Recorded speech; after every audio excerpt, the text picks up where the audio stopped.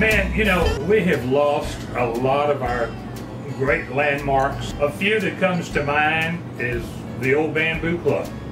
Bamboo Club is where all of the, the great talent came to Lake Charles. Cookie and the Cupcakes, the Boogie King, Hank Williams Jr. I first saw Hank Williams Jr. at the Bamboo Club.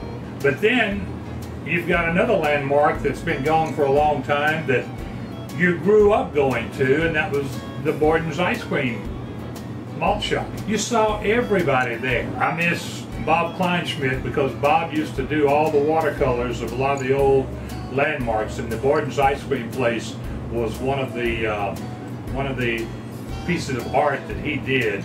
And uh, even the ladies that worked there were just they were popular. They were stars because everybody went to Borden's after church on Sunday or, or whatever. And uh, it was just a great place to go. I missed that immensely. The Bamboo Club was on uh, on Highway 14. It's now the U-Haul trailer place. And uh, Borden's Ice Cream was right there by Immaculate Conception uh, ICCS, the school, Catholic school, right there on Ryan Street.